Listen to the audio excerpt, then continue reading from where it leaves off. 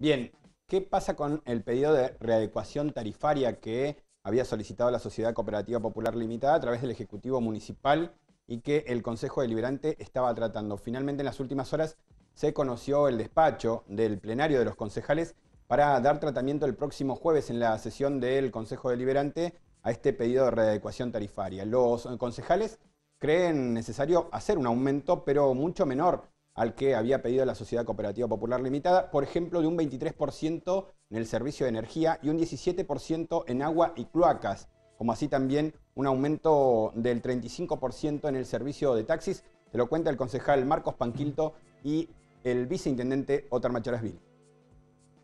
Se venía tratando en plenario, más que en comisión, con los 12 concejales y los asesores del Consejo y bueno, el jueves ya va al recinto la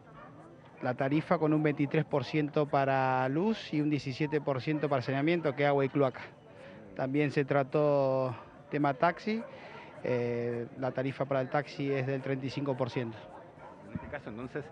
eh, qué es lo que quedó afuera del pedido que ha hecho la cooperativa en cuanto a tarifa. No, lo que quedó afuera, la cooperativa había metido un pedido para tener cerca del 70% de aumento, donde cual no salió del Consejo ese aumento porque lo veíamos que no tenía que ser así, pues incrementaban el VAT, donde la ordenanza 6050 no tiene el VAT, lo sacaron al VAT en el año 2018, así que solamente por ordenanza estamos obligados eh, a dar tarifa, pero siempre que se habla de mano de obra, que son las paritarias que tuvieron los gremios, y es el equivalente.